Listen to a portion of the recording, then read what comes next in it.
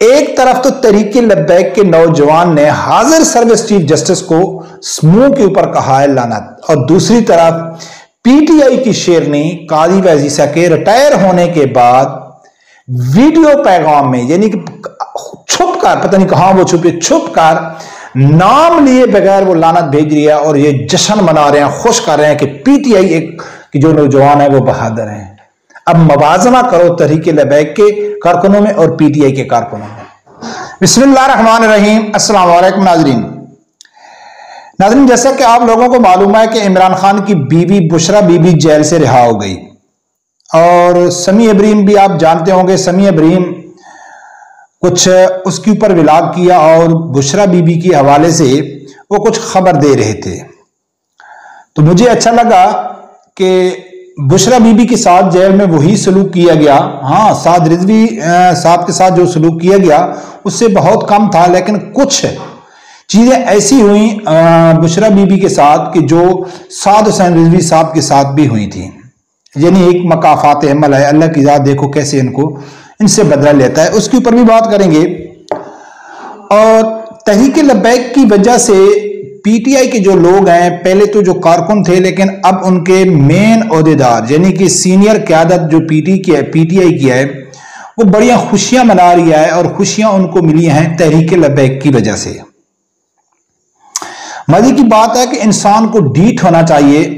जब इंसान डीट हो जाता है तो फिर कोई फ़र्क नहीं पड़ता है कि लोग उसे क्या कह रहे हैं, या वो क्या हरकत कर रहा है, उससे कोई नहीं फ़र्क पड़ता है। हाँ अलबत्ता आपको डीट होना आपके लिए ज़रूरी है। उसके ऊपर भी नाजरीन बात करेंगे। नाजरीन, पहले बात करते हैं तहरीक लबैक के, की वजह से जो इनको खुशी मिली है। जैसा कि आप लोगों को मालूम है कि काजी फैज ईसा रिटायर हो गए। काजी फैज ईसा जब सर्विस में थे तो इस्लामाबाद बेकरी में जो उसके साथ वाक्य पेश हुआ, और बच्चे बच्चे को मालूम पड़ गया कि वो नौजवान कौन था? वो तरीके लब्बैक का था। और तहरीके लब्बैक के नौजवान ने हाजिर सर्विस चीफ जस्टिस के मुँह के ऊपर उसको कहा था कि आपके ऊपर लानत हो। यह था तहरीक लबैक का नौजवान।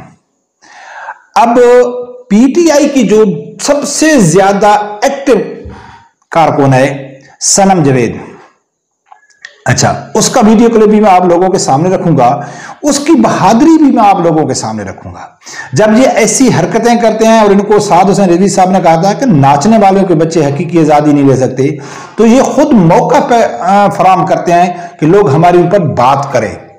हाँ हमारा मज़ाक उड़ाए। तो जैसे कि मैंने पहले बात किया ना कि डीट होना ज़रूरी है, जब आप डीट हो जाएँगे तो आप कुछ भी करते रहें, आपको कोई फ़र्क नहीं पड़ता है। नाजरीन, जैसे ही काजी फैज ईसा रिटायर हुए कि यानी कि तहरीक लबैक के नौजवान ने हाजिर सर्विस चीफ जस्टिस को सामने मुँह के ऊपर कहा था कि आप पर लानत होगा और यकीनन डोनट बड़े फ़ेमस हो गए थे और पीटीआई के कारकुन आम लोग, उन्होंने दुकान खाली कर दी थी। लेकिन उसके रिटायर होने के बाद पीटीआई की जो सीनियर क्यादत है, असद कैसर वगैरह हो गया और बहुत सारे वकला हैं, वो अब जाके उस दुकान के ऊपर डोनर खरीद के वो खुशियाँ मना रहे हैं और वो कादी ईसा के ऊपर गुस्सा निकाल रहे हैं, उसको ताना दे रहे हैं। यानी कि वो वीडियो बना के कहते हैं कि कादी फैज ईसा, देख, जहाँ आपको लानत भेजी गई थी, आज हम उस दुकान में खड़े हैं और हम इंजॉय कर रहे हैं।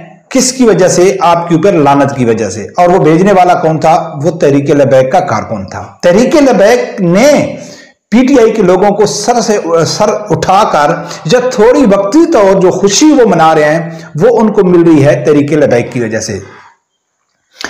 अब नाजरीन, जो इनकी सनम जवेद है, उसने एक वीडियो यानी कि काजी वजीसा जो ही रिटायर हुए तो रिटायर के बाद उसने एक वीडियो ट्विटर के ऊपर अपना एक वीडियो पैगाम दिया किसको? काजी वजीसा को। पहले वो सुनो, फिर आगे जाके बात करते हैं। एक बार नहीं, दो बार नहीं, तीन बार नहीं, पूरे चार बार लानत हुआ पर। अब नाजरीन, आप लोगों को समझ आ गई कि ये काजी पैसीसा के जाने के बाद जाते जाते आप लानते ले जाएँ, इसने अपने ट्विटर के ऊपर लिखा था और उसने वीडियो में सिर्फ़ इतना शेयर किया उसके अपने यानी अकाउंट से। हाँ किसी और अकाउंट से होता तो हम ये समझते कि यार किसी ने एडिट कर दिया है, वो क्लिप काट लिया है लेकिन ये है पीटीआई के बहादुर लोग। ये हैं पीटीआई के दिलेर लोग। एक तरफ़ तो तरीके लब्बैक के नौजवान ने हाजिर सर्विस चीफ जस्टिस को समूह के ऊपर कहा है लानत। और दूसरी तरफ़ पीटीआई की शेरनी कादी वजीसा के रिटायर होने के बाद वीडियो पैगाम में, यानी कि छुप कर पता नहीं कहाँ वो छुपे छुप कर नाम लिए बगैर वो लानत भेज रही है और ये जश्न मना रहे हैं, खुश कर रहे हैं कि पीटीआई एक कि जो नौजवान है वो बहादुर हैं। अब मवाजना करो तरीके लबैक के कारकुनों में और पीटीआई के कारकुनों में। ये नाजरीन दिल ही दिल में समझते होंगे कि यार हम जो खुशियाँ मना रहे हैं, इस खुशियाँ हमको तहरीके लबैक की वजह से मिल रही हैं। दूसरे नंबर पे नाजरीन, हाफिज साद हुसैन रिजवी साहब जेल में थे तो जब उससे पूछा गया कि आपको क्या कहा जाता था? कह यानी कि इमरान खान से तो बार बार मुलाकातें होती हैं, कुछ दिनों के लिए उसकी मुलाकातें बंद कर दी गई थी, लेकिन बुशरा बीबी के साथ मुलाकातें ना होने के बराबर हुई। और हाफिज साद हुसैन रिजवी साहब जब जेल में थे तो उसके साथ भी मुलाकातें नहीं होती थी, लेकिन हाफिज साद हुसैन रिजवी को एक पैगाम बार बार पहुँचाया जाता था।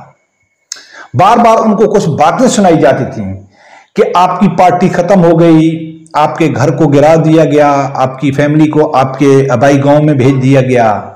अब आप खत्म हो गए, पूरी पार्टी खत्म हो गई कारकुन कोई शहीद हो गए, कोई भाग गए।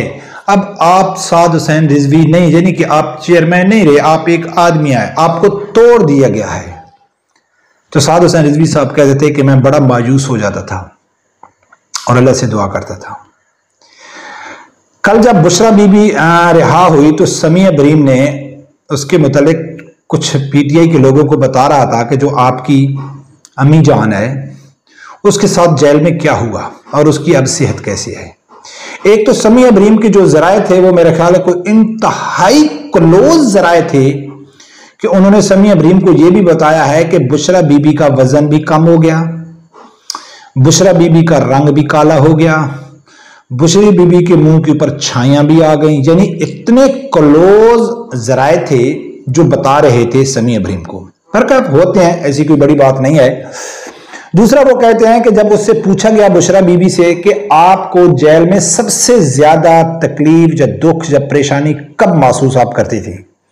तो वो कहती थी कि जब मुझे ये कहा जाता था कि आपका इमरान खान मरने वाला है, या आपका इमरान खान टूट गया है, या आपका इमरान खान बहुत कमज़ोर है, या वो बहुत बीमार है, क्यों? अब वो ये तो नहीं कह सकते थे कि भाई इमरान खान को रिहा कर दिया गया या उसको मार दिया गया, क्यों?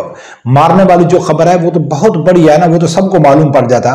लेकिन वो कहते हैं कि आपका जो शोहर है, उसको जेल में बहुत मुश्किल में रखा हुआ है। तो वो कहती थी कि मैं सजदे में चली जाती थी, मैं अल्लाह से दुआ करती थी।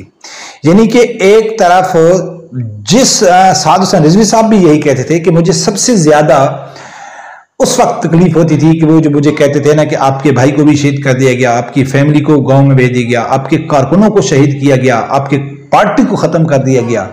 यानी कि लोगों की वजह से, कारकुनों की वजह से वो परेशान होते थे और ये अपने इमरान खान की वजह से परेशान होती कि जी इमरान खान के साथ ये किया, वो किया।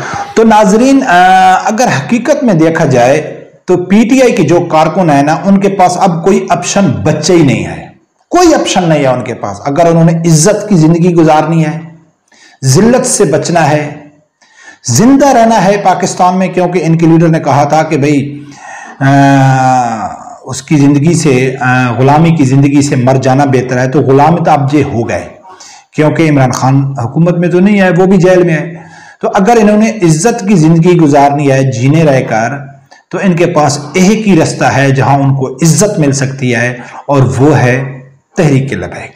तहरीक लबैक के अलावा इनके पास कोई ऑप्शन नहीं है हाँ शर्मिंदगी से गुजार सकते हैं, जिल्लत से गुजार सकते हैं, ये उनकी ज़िंदगी रहेगी। लेकिन मैं मैं भी शायद गलत हूँ ये बात करके कि मैंने पहले ही कह दिया है कि आदमी को डीट होना चाहिए। जब आदमी डीट हो जाता है तो फिर उसको कोई फ़र्क नहीं पड़ता है कि इज़्ज़त और जिल्लत क्या है। तो ये अब उस वो वो रेड लाइन क्रॉस कर चुके हैं कि अब इन, इनके ऊपर कोई मैटर नहीं करता है कि ये जो बातें कर रहे हैं, लोग इनसे हंस रहे हैं या इनको बेवकूफ़ कह रहे हैं, इनकी हरकतों की वजह से ये अब इनके ऊपर कोई असर नहीं करती। रबे पर वरगार से यही दुआ अल्लाह ताला मेरे समझदार आदमी को हादसा सुनने की और उसके साथ खड़े होने की तोफ़ी किताब फरमाए। अल्लाह हाफि